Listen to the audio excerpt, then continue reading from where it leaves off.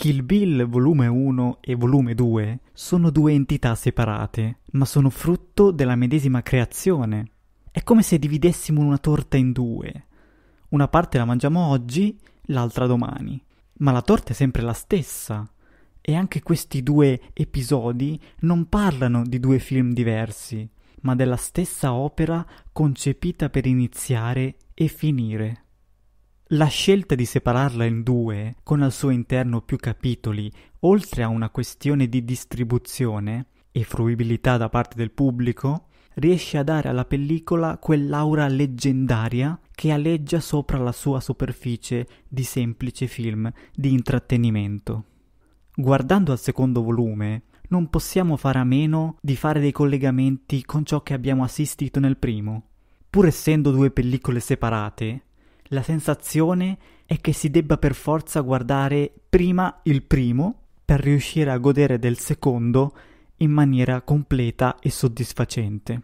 Questo vuol dire che l'esperienza, seppur divisa e fruibile in due tempi, deve seguire comunque il suo originario concepimento ogni volta che la si andrà a rivedere. Kill Bill non sussiste come prequel o sequel, non reggono come film a sé stanti che si possono guardare singolarmente senza vedere anche l'altro. Nessuno vi vieta di farlo, ovviamente, ma il film è un'esperienza unica che continua nella nostra mente e nel passaggio da un CD all'altro. La pellicola è finita, ma la storia non ancora. Guardando Kill Bill volume 2, ripercorriamo e ricordiamo immediatamente il viaggio della sposa nella prima parte avendo ben chiaro da dove dobbiamo riprendere e dove eravamo rimasti. La sensazione, passando dal primo volume al secondo, è di ricordarci di qualcosa accaduto molto tempo fa, come se facesse parte di una storia che non avviene nel periodo in cui viene mostrata, ma che ci viene raccontata da chi sta all'interno e che quindi può spezzare, interrompere e narrare quei fatti passando da un punto all'altro facendo dei collegamenti anche a distanza di anni. E di fatti è proprio Beatrix che in apertura ci riporta la sua storia lasciata in sospeso, parlando direttamente con gli spettatori e riferendosi alle locandine del film precedente che la ritraggono come una furia vendicativa, come se lei fosse consapevole di provenire da quella dimensione lì e di stare raccontando a qualcun altro la storia di se stessa. Questo rende Beatrix un personaggio che si muove liberamente all'interno dello spazio-tempo del cinema e quindi è in grado di mostrarci la storia come vuole lei, dal suo reale punto di vista. È lei a interrompere il flusso e farci vedere la storia di Oren mentre sta cercando di rimettere in moto i piedi. Usa il cinema, le immagini, i ricordi di quello che gli è accaduto e ce li mostra anche a noi come se fosse lei a proiettare il suo film e noi fossimo all'interno della sua mente. Come se ci trovassimo all'interno di una storia fantastica senza tempo, che riusciamo a percepire più reale di un film che vuole essere per forza realistico. Tarantino ha capito come usare il mezzo cinema e come sfruttare quella sottile linea che separa la finzione dalla realtà, andando a manipolare e mettere in discussione la nostra percezione.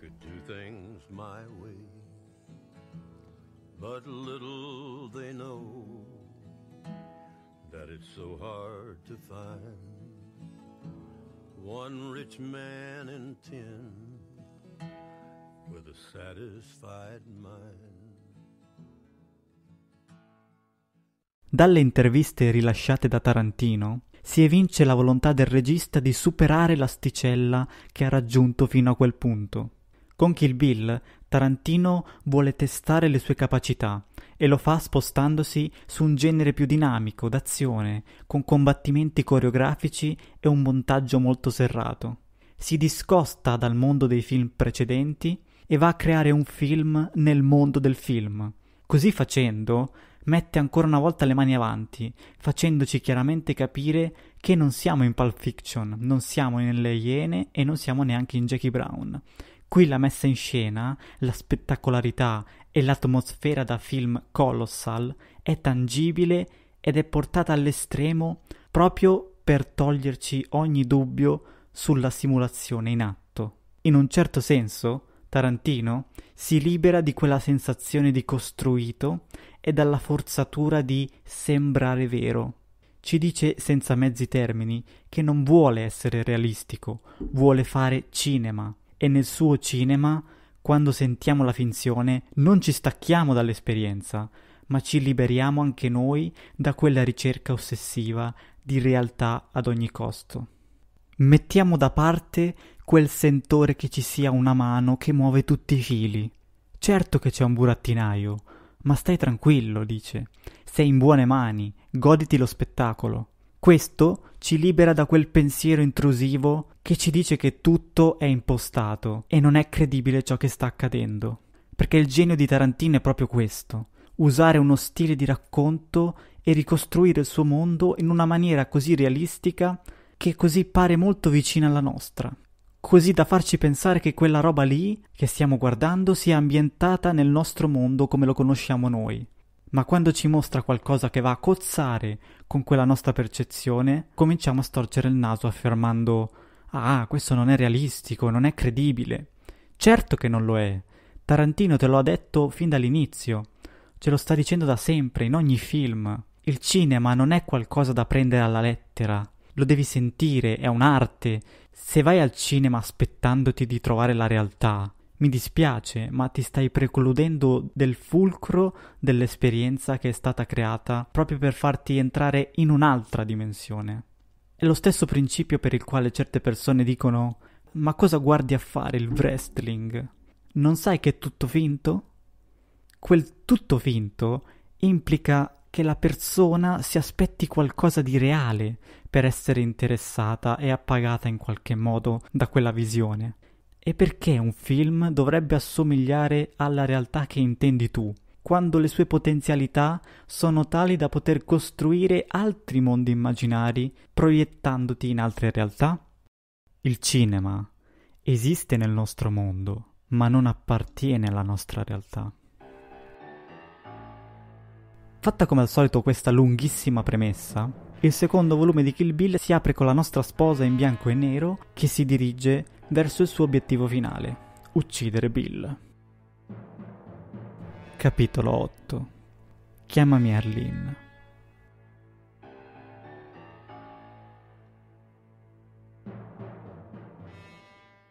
Prima di vedere il continuo del viaggio della sposa, torniamo indietro di quattro anni, alla famosa cappella di El Paso, Texas, dove si consumò l'efferrata strage ormai diventata leggenda.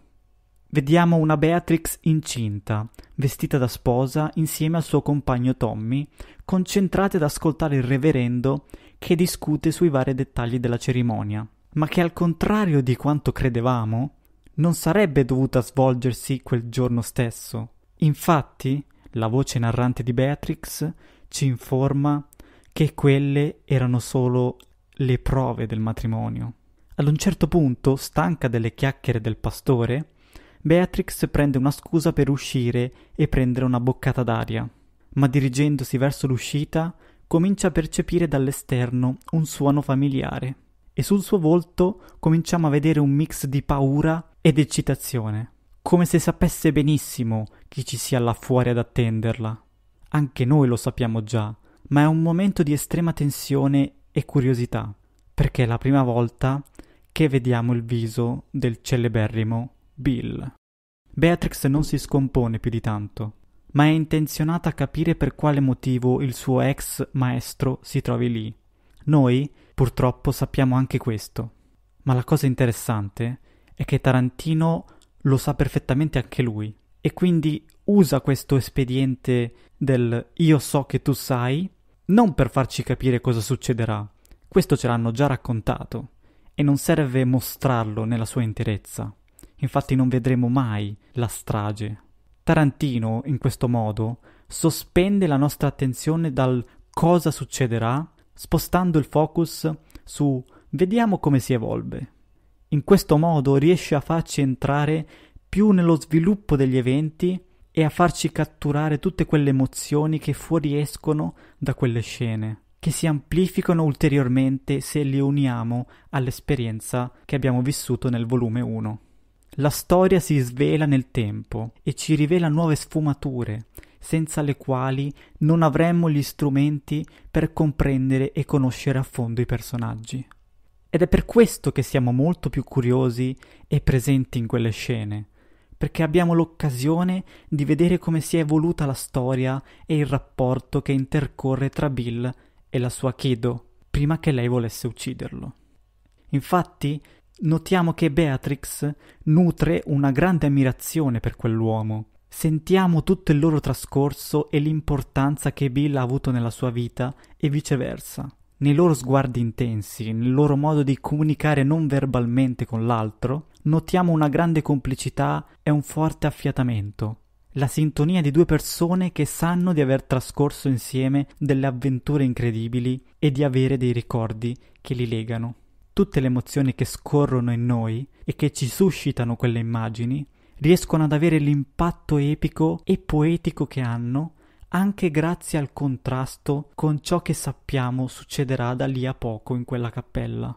Tutti questi elementi, messi in campo strategicamente, riescono a creare nel nostro immaginario uno scenario tragicamente poetico oppure masochisticamente romantico, come direbbe Bill. Durante la presenza di Bill, la nuova identità di Beatrix si mette in pausa. Il suo arrivo per lei rappresenta il ritorno ad una vita passata dalla quale è voluta fuggire. Capiamo che anche i suoi nuovi amici non sono a conoscenza di chi fosse lei prima di averla incontrata. Ora si fa chiamare Arlene, lavora in un negozio di dischi musicali e parla di musica tutto il tempo. Bill sembra molto ironico riguardo a questa messa in scena, perché di fatti si rende conto che quella messa su dalla sua ex adepta Arlene è una ridicola farsa, esattamente come le prove del matrimonio che stanno preparando. Beatrix sta cercando di recitare la parte della ragazza normale che cambia città e si lascia tutto alle spalle. Si convince di essere felice della sua nuova vita da cittadina semplice e ordinaria, sposata con un ragazzo semplice, facendo un lavoro semplice per mantenersi, insomma, conducendo una vita serena e tranquilla ma a Bill bastano pochi sguardi per capire che quella storia che si sta raccontando è solo una bugia. C'è anche da dire però che fino al suo arrivo sembrava essersi adeguata e aver imparato a vivere come una donna di mondo, in un ambiente più tranquillo, dove poter crescere la sua bambina lontano dalle pericolose influenze. Quindi capiamo che Bill ha un'influenza notevole su Beatrix. Percepiamo l'affetto e la potenza del loro rapporto, hanno una storia potente alle spalle e lo leggiamo nei loro occhi, nel modo in cui si parlano, ma sentiamo anche la volontà di Beatrix di staccarsi dalla sua influenza, la sua richiesta amorevole verso Bill di lasciarla andare, di togliergli quelle catene e liberarla da ciò che la tiene legata all'idea di essere solo una killer spietata, ovvero quel ruolo che gli ha dato e in cui l'ha trasformata Bill. Per cui sì, quella di Beatrix potrà anche essere una messa in scena, secondo Bill, ma è qualcosa che lei sente di dover fare, un sacrificio necessario affinché sua figlia cresca nel mondo e nel luogo più sicuro possibile. La gravidanza di Beatrix attiva in lei un istinto materno che supera ogni altro desiderio che le appartiene per fare il bene della sua primogenita. Capitolo 9 dalle spade samurai alle pistole western.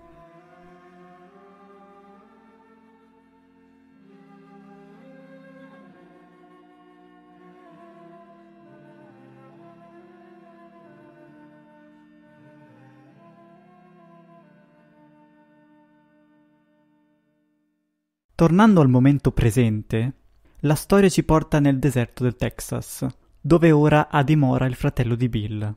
Bud faceva parte della squadra di Bill, ma ora a quanto pare sembra essersi ritirato a vita privata e aver appeso le armi al chiodo, come Vernita Green.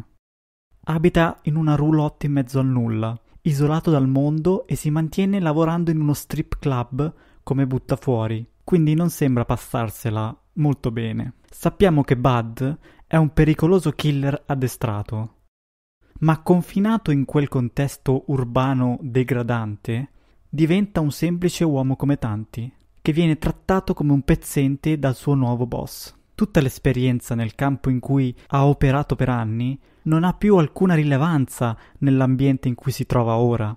Bud deve arrivare in orario al lavoro anche se non c'è nessuno nel locale. Lo vediamo ridotto a pulire dei cessi come un garzone e se non rispetta le direttive rimane a casa senza stipendio. Il suo dramma è quello di dover sopravvivere in un mondo moderno abbassandosi alle sue regole, ben conscio di appartenere ad un altro mondo. La condizione in cui troviamo Bud sembra una classica parabola in discesa di un attore hollywoodiano che passa dall'essere il più blasonato delle star nel suo settore all'essere un povero ubriacone caduto in disgrazia, che viene umiliato dal suo datore di lavoro.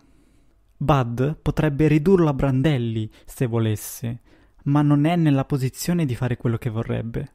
Anzi, deve sottostare ai suoi comandi.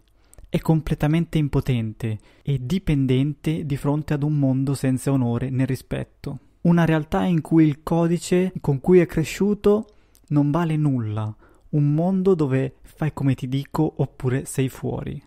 Se guardiamo bene, L'ambiente di lavoro in cui Bud fa il buttafuori sembra essere una versione più becera e tossica di quello in cui lavorava prima.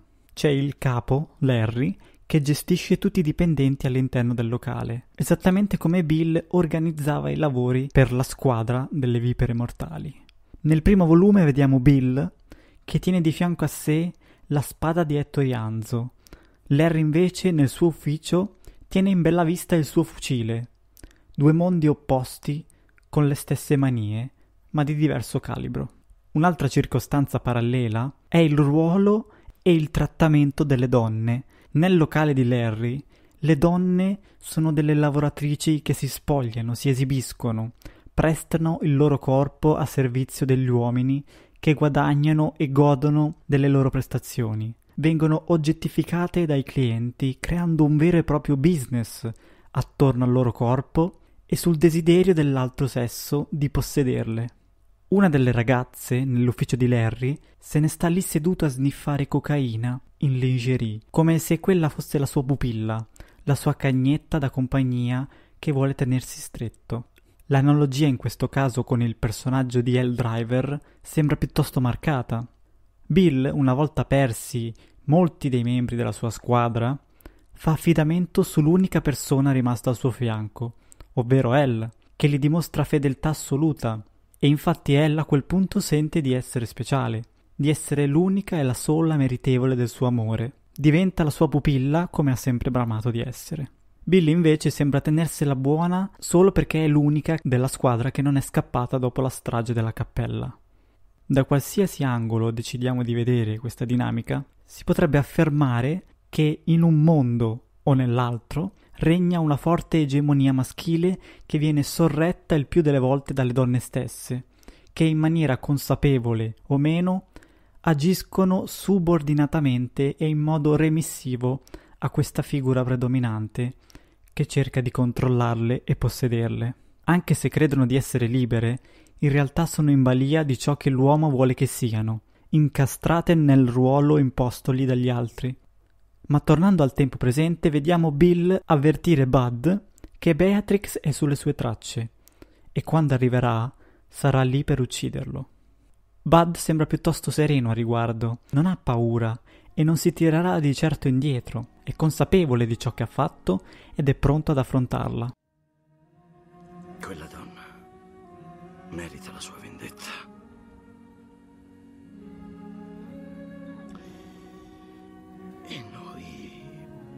Meritiamo di morire.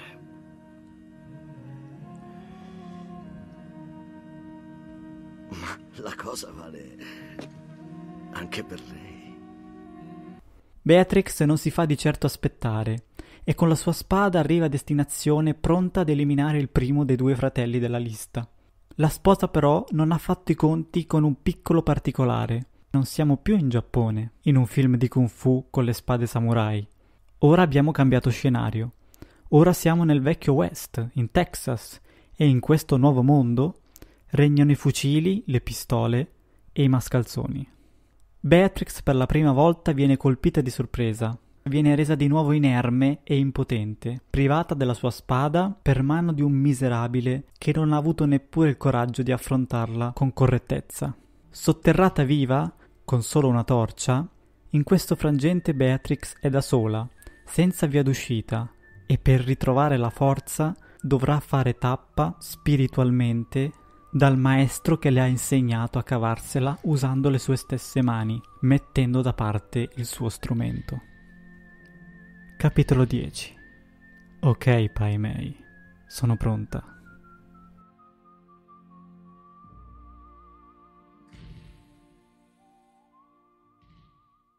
Il periodo di addestramento da Pai Mei matura i suoi frutti proprio in questa occasione. Ottenere la forza del maestro tramite la fatica e il sudore, per Beatrix significa riappropriarsi della sua identità, del suo potere, del suo essere, della sua indipendenza, senza appoggiarsi a qualcuno o qualcosa di esterno.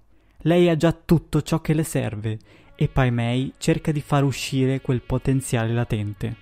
La spada che le viene donata da Hattori Anzo è servita per affrontare degli avversari specifici, ma ora non può aiutarla può diventare lei stessa lo strumento. Attraverso i suoi duri addestramenti, Pai Mei la umilia e gli ricorda che in quello stato è impotente. Testa la volontà e la caparbietà di Beatrix per capire se è disposta realmente ad ottenere la sua forza e soprattutto se sarà capace di farla diventare sua, senza abusarne. Così, grazie al suo maestro, Beatrix trova la forza per sfondare la cassa in cui è stata rinchiusa e rinascere dal terreno. Riacquista la sua persona e noi veniamo finalmente a conoscenza di Beatrix Kiddo. Non gli serve più la spada per essere potente. È grazie alla sua forza che può usare la spada. Capisce che è la spada che ha bisogno di lei per essere letale.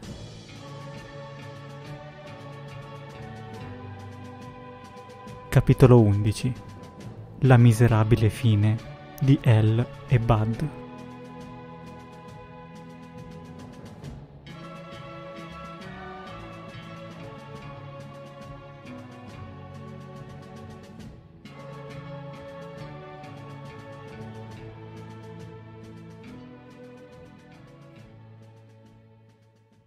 Mentre Beatrix è impegnata a risorgere dagli abissi della terra, alla roulotte di Bud arriva a fargli visita la spietata Elle Driver. Con sé ha una valigia piena di soldi, che gli serviranno per comprare la spada di Hector Anzo che Bud ha sottratto alla sposa prima di seppellirla.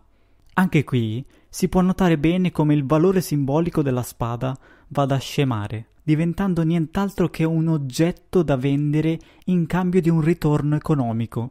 Bud ha cambiato il suo sistema di valori. La cosa importante per lui non è essere fedele al codice, ma solo mantenere l'apparenza di averlo e difendere l'idea che ha di se stesso.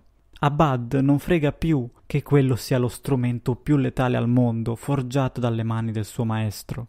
Non è più legato a quella tradizione. Vive in un mondo diverso ora, e quando dice a Bill di aver venduto la sua spada di Ettorianzo, mente, perché vuole semplicemente fare un dispetto a suo fratello, che gliel'aveva regalata con tanto di dedica incisa. Sa benissimo il valore che ha quella spada, non è così sciocco da svenderla per una cifra irrisoria come 250 dollari. Ha un valore affettivo per via di chi gliel'ha donata, ha un valore di talismano che gli ricorda da dove proviene e anche il suo valore tecnico impeccabile. Molto probabilmente Bud mente per mostrare a Bill le condizioni disastrose in cui si trova, così disperato da svendere l'acciaio più prezioso al mondo per pochi dollari, come se volesse ferire Bill e fargli intendere che non vuole avere più niente a che fare con lui, ma allo stesso tempo fargli provare un senso di colpa come se fosse Bill responsabile del fatto che è finito a fare quella vita. Forse vorrebbe tornare con la sua famiglia, ma è talmente orgoglioso che non vuole dimostrarsi così arrendevole e disperato da chiedere a Bill di aiutarlo. È più un volere che sia lui a pregarlo di tornare.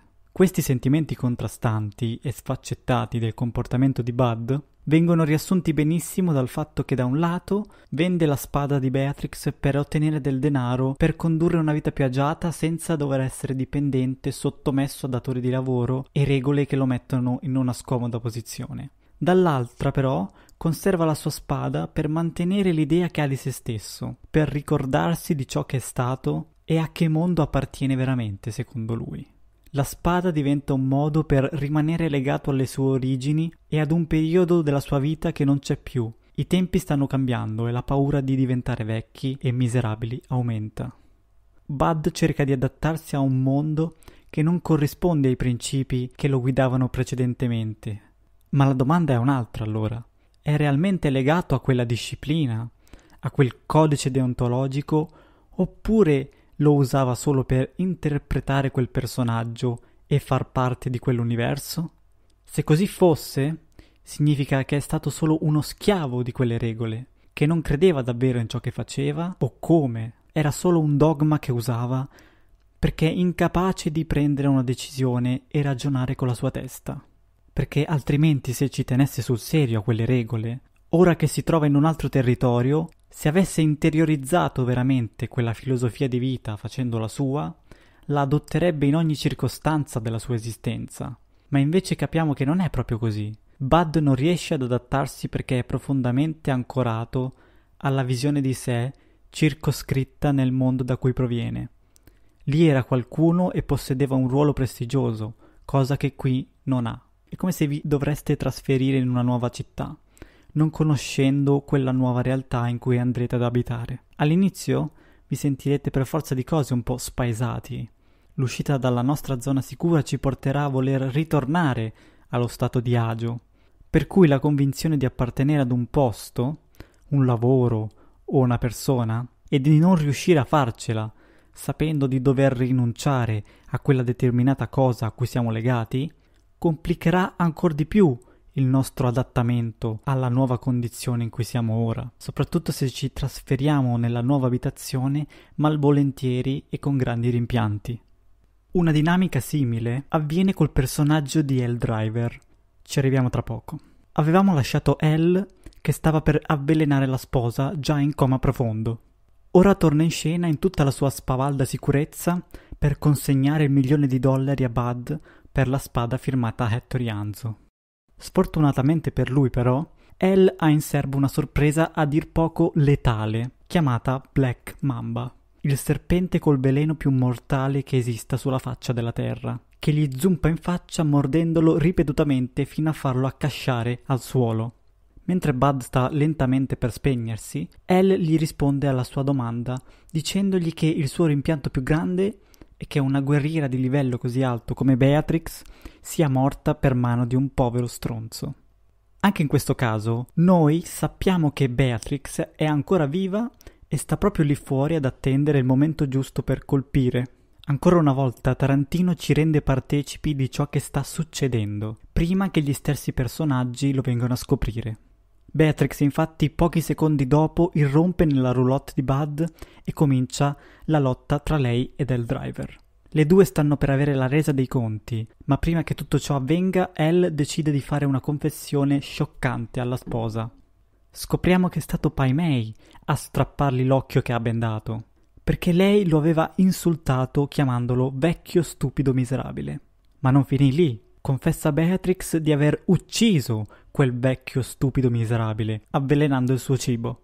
Ed eccoci qua al punto a cui volevo arrivare. Riprendendo il discorso di prima, abbiamo l'ennesima dimostrazione di come Elle non sia minimamente interessata a giocare pulito, esattamente come Bud. Non tenta di regolare i conti con Pai Mei, affrontandolo uno contro uno, ma decide di utilizzare un metodo vile per ottenere la sua vendetta, esattamente come stava per fare con Beatrix all'ospedale. Se non fosse stato per Bill, lei non si sarebbe fatta nessuno scrupolo a farla fuori, anzi, non vedeva l'ora.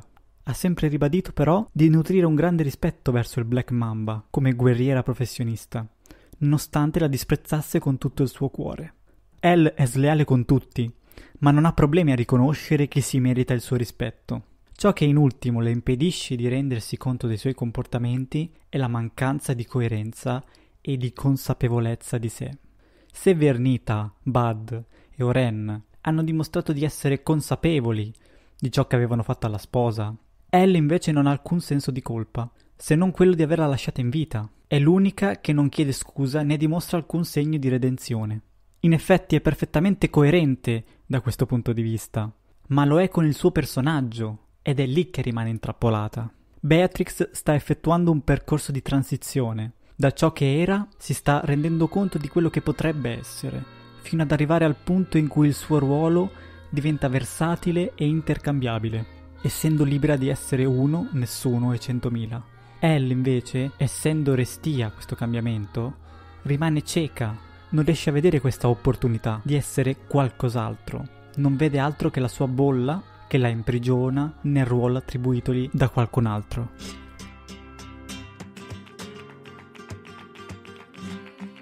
Capitolo 12 Papponi e puttane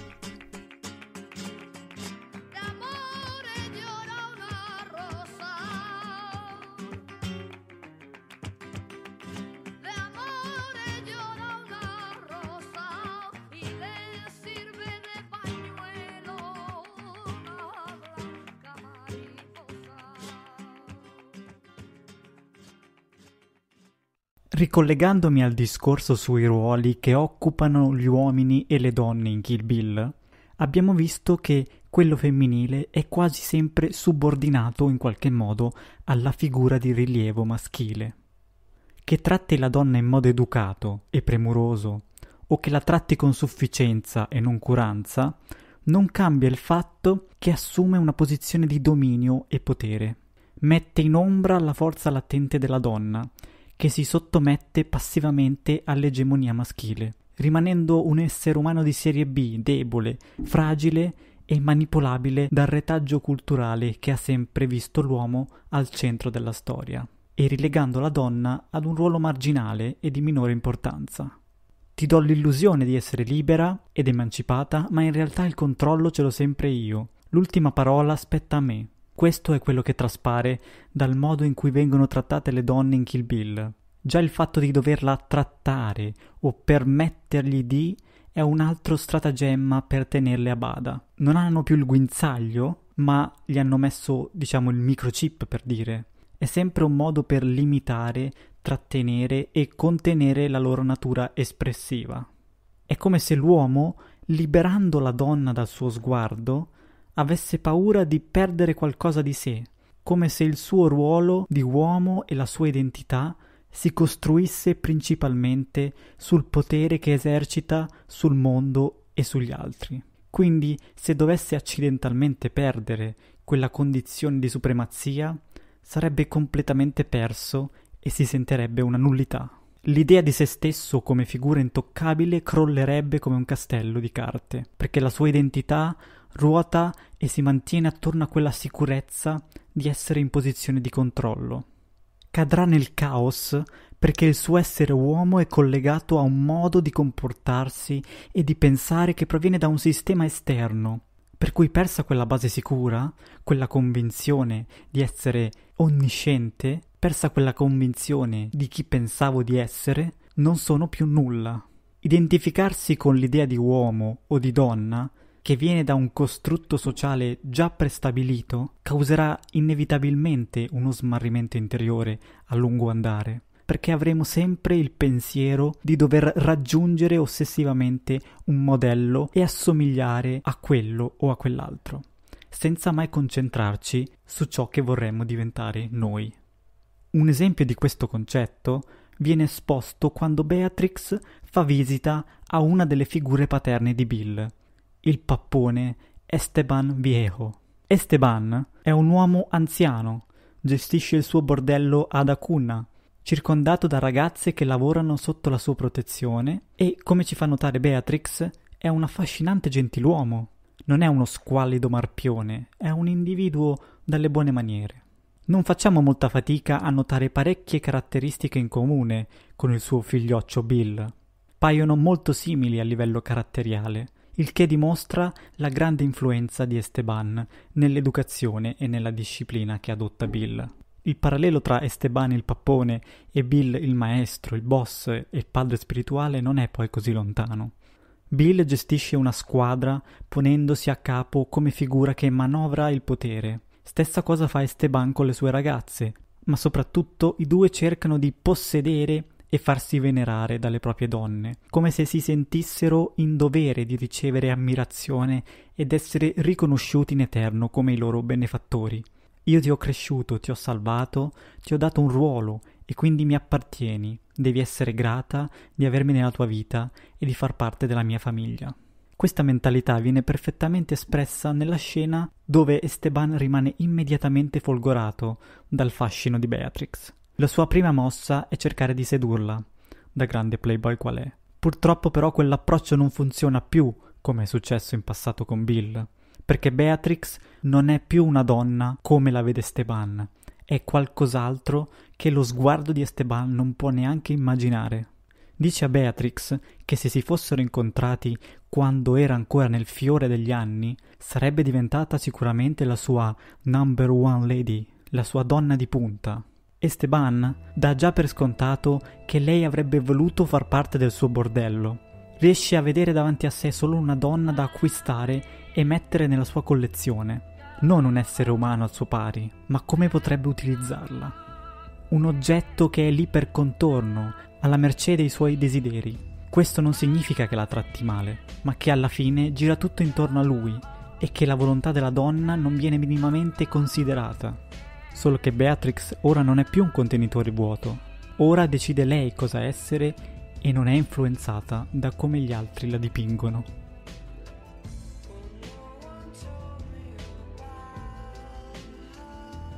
Capitolo 13 a.k.a. Mamma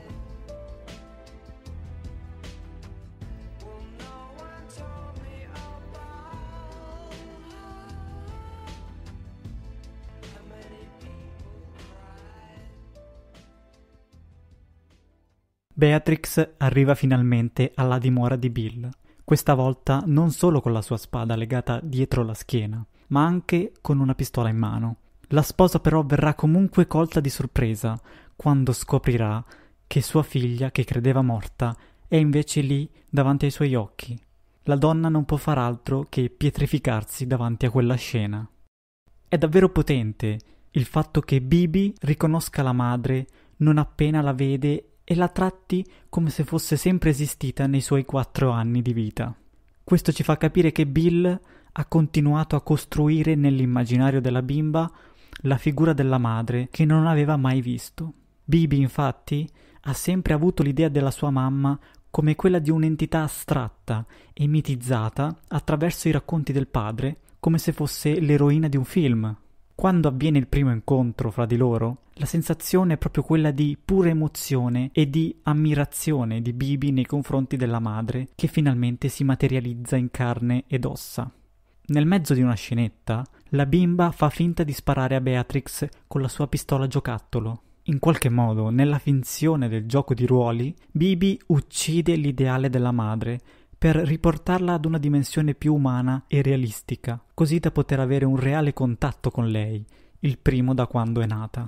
Il nome che Bill decide di dare alla figlia è molto particolare, non è assolutamente un nome comune, sembrano quasi solo delle iniziali, ed è curioso, ma non casuale, che possano essere proprio le iniziali dei suoi genitori, Beatrix e Bill, Bibi.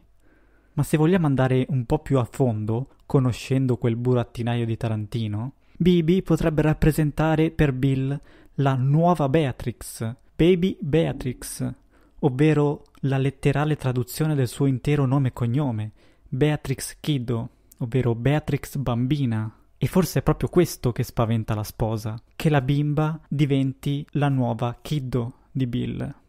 Che Bill cresca Bibi facendola diventare come lei, come vediamo, infatti, sembrerebbe già indirizzarla verso quel mondo criminale attraverso il gioco di uccidere, cominciando a instillare nella bimba un concetto terribile come l'omicidio con una rappresentazione, una recita di quell'atto. Ora che la sua bambina è lì di fronte a lei, lo shock è talmente spiazzante che tutte le sue difese si abbassano e ci rendiamo conto di quanto Bill sia stato un abile stratega a organizzare tutta questa messa in scena per farla arrivare fino a quel punto. Bill non ha ucciso la loro bambina, ma il suo dolore, tutto quel sangue, le persone che ha ucciso durante il percorso, la paura di non riuscire a sopravvivere, la frustrazione e il conflitto interiore, tutto questo è stato vissuto da Beatrix come una vera e propria discesa all'inferno. La vendetta ora è passata allo stadio successivo. La missione ora non è più solo uccidere Bill per ciò che gli ha fatto, ma proteggere la sua Bibi da un destino segnato, per spezzare il ciclo di manipolazione e controllo di Bill per liberare se stessa dall'influenza che Bill continuerà ad avere su di lei e in ultimo diventa un modo per mettere fine alla sofferenza di Bill, per proteggerlo da se stesso e dalla sua natura da Snake Charmer, da assassino manipolatore.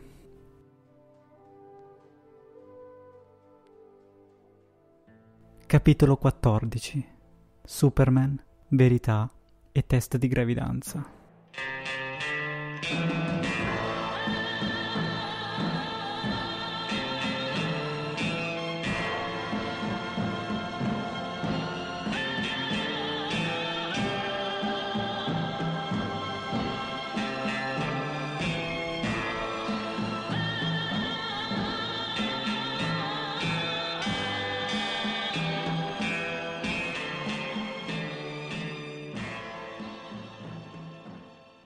Prima che questa storia di sanguinosa vendetta raggiunga il suo climax, ci sono alcune cose da chiarire.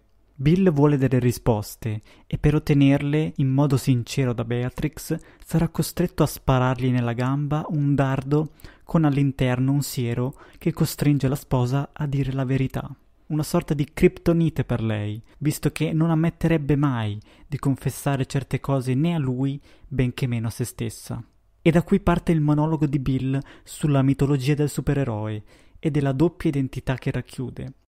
L'elemento fondamentale della filosofia dei supereroi è che abbiamo un supereroe e il suo alter ego. Batman è di fatto Bruce Wayne, l'uomo ragno è di fatto Peter Parker. Quando quel personaggio si sveglia al mattino è Peter Parker.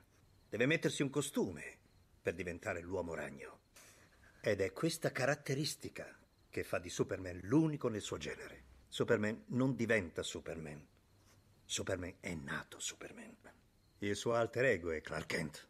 Quello che indossa come Kent, gli occhiali, l'abito da lavoro, quello è il suo costume. È il costume che Superman indossa per mimetizzarsi tra noi. Clark Kent è il modo in cui Superman ci vede. E quali sono le caratteristiche di Clark Kent? È debole, non crede in se stesso ed è un vigliacco. Clark Kent rappresenta la critica di Superman alla razza umana. Più o meno come Beatrix Kiddo è la moglie di Tommy Plimpton. Bill, con questa disamina del personaggio di Superman, sta dicendo a Beatrix che per quanto lei provi a essere e comportarsi in modo diverso, rimarrà sempre ciò che è, ovvero un'assassina, una natural born killer, che trae piacere dal male che affligge le sue vittime.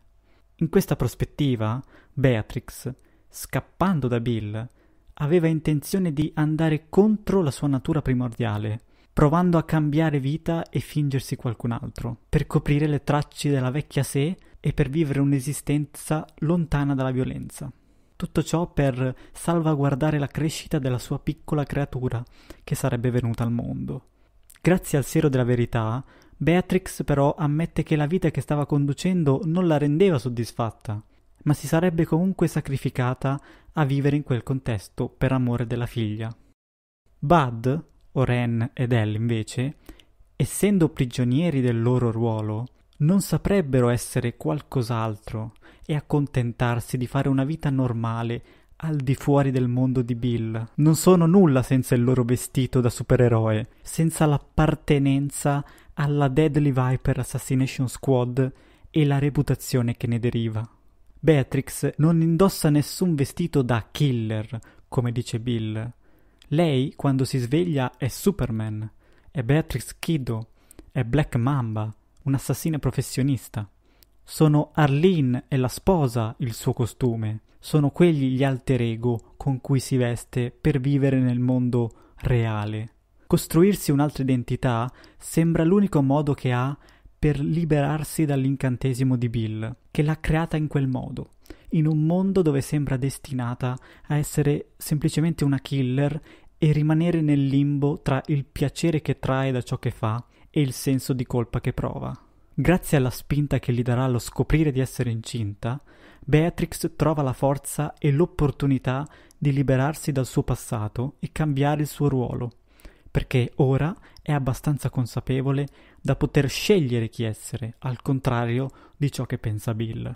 Potremmo anche pensare che a questo punto la frase iniziale di Bill, che apre questa epopea, fosse una vera e propria profezia. Il masochismo di cui parla è la sua consapevolezza di ciò che succederà da lì in avanti. Sa che Beatrix non morirà, anzi lui vuole che ricordi ciò che gli hanno fatto, ma non gode per le pene che gli ha inflitto, ne soffre anche lui perché sta punendo una persona che ama. Quindi la vendetta, il sangue, il piacere e la rabbia di Beatrix sono una conseguenza che Bill aveva previsto sin dal principio, proprio perché conosce la sua Kiddo meglio di se stessa, essendo stato lui a crearla. E se consideriamo che Bill uguale Tarantino, tutto ci sembra molto più chiaro. Bill voleva dimostrare a noi e a Beatrix che per ottenere la sua vendetta sarebbe stata disposta a uccidere chiunque gli avesse fatto quel gravissimo torto e quindi confermare la sua tesi, ovvero che lei è quello che è, è una killer di natura e non importa quanti nomi cambierà, come si presenterà davanti agli altri o se deciderà di cambiare vita. La sua vera natura prima o poi verrà fuori e che lo voglia o meno dovrà conviverci, reprimerla o lasciarla uscire. Bill credeva che tutta la furia che ha sprigionato e la voglia di vendetta che l'ha spinta ad arrivare fino a quel punto, alla fine le avrebbe fatto ricordare quale fosse il mondo a cui apparteneva e chi era veramente, facendo in modo che ritornasse al suo fianco, dove è naturale che stia. Credeva di poter tenere sotto controllo la sua creatura, perché aveva paura che potesse cominciare a camminare con le sue gambe e tentare di scappare, come di fatto è successo quindi tramite la sua influenza ha provato a riportarla a casa, ma non ha capito che il viaggio di Beatrix e il trauma che ha subito, per mano sua, gli ha permesso di risvegliare quella parte dormiente di sé. Beatrix ora non deve solo uccidere Bill per redimersi, deve liberarsi del controllo che ha su di lei quella figura paterna intoccabile. La furia vendicativa fine a se stessa, che si scaglia contro le persone che gli hanno causato del male, è una soluzione temporanea che le avrebbe dato solo una giustizia effimera e insoddisfacente. Il viaggio della sposa non è questo, almeno non solo. Diventa una battaglia per riappropriarsi della propria individualità, della sua identità, che fino a un certo punto rimane un mistero per noi e per lei stessa. È come se durante la narrazione ripercorressimo la sua storia e insieme a lei diventassimo sempre più consapevoli di chi sia la sposa e cosa dovrà fare per riottenere il suo nome. Beatrix, per essere davvero libera, deve staccarsi dal mondo di Kill Bill, perché è quel mondo in cui Bill l'ha rinchiusa che non le permette di avere quella compassione e pietà di cui parlava all'inizio. È un percorso che la porta a trasformarsi in una creatura dalle molteplici identità, da Beatrix passando per Arlene, la sposa, Black Mamba e infine la mamma di Bibi. Beatrix rimarrà sempre Superman, una killer. Ha ragione Bill, ma lei non si identifica più nel suo ruolo. Sceglie di poter essere anche una donna, una mamma, sceglie di liberarsi dalle etichette e dal volere che gli impongono gli altri. Bill sa perfettamente che quando Beatrix si presenterà a casa sua, lui sarà il prossimo a essere depennato dalla lista. A questo punto Beatrix potrebbe anche risparmiarlo, visto che sua figlia è viva, ma il conto in sospeso è molto più grande ora, va oltre il massacro subito. È una questione di dignità, per riscattare la propria persona, per aver tradito il suo amore in quel modo. Beatrix è stata ferita dalla persona che più amava. La sua vendetta quindi diventa un atto d'amore verso se stessa, uccide il suo vecchio amore per amore della sua piccola Bibi. Uccidere diventa un atto d'amore necessario.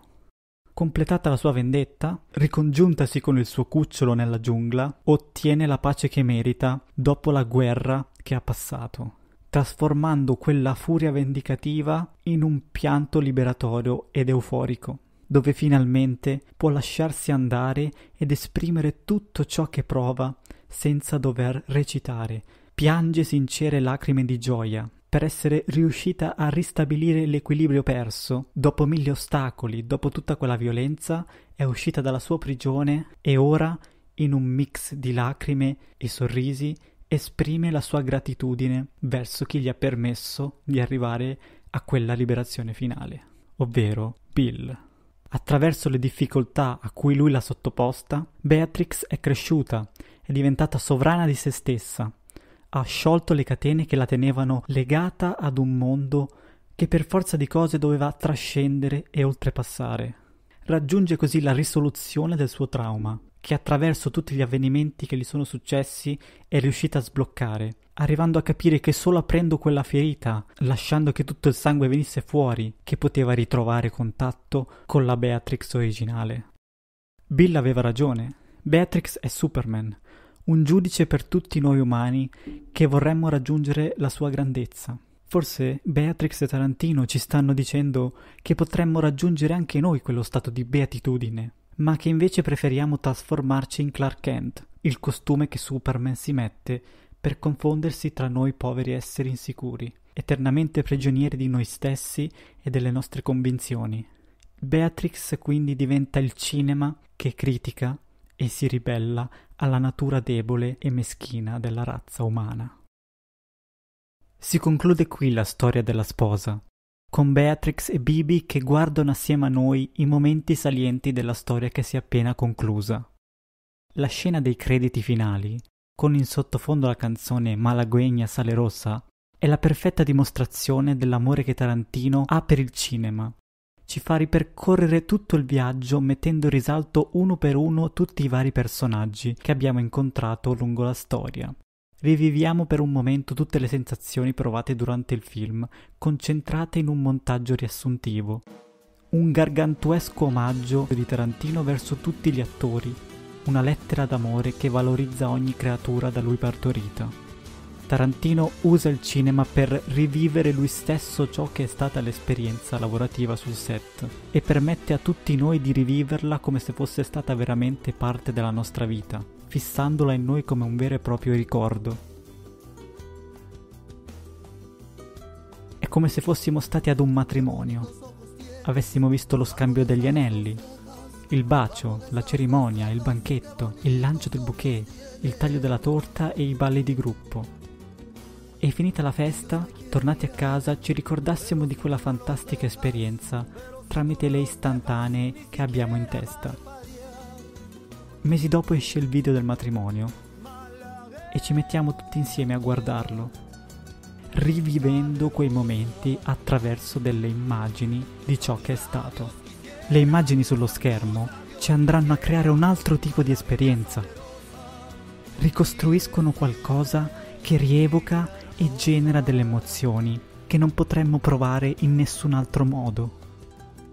La rappresentazione diventa quasi più forte ed evocativa di quello che abbiamo sperimentato in prima persona, come se riuscissimo a cogliere appieno la grandiosità e la magia di quei momenti passati, solo attraverso i ricordi, le immagini, attraverso il film di ciò che abbiamo vissuto.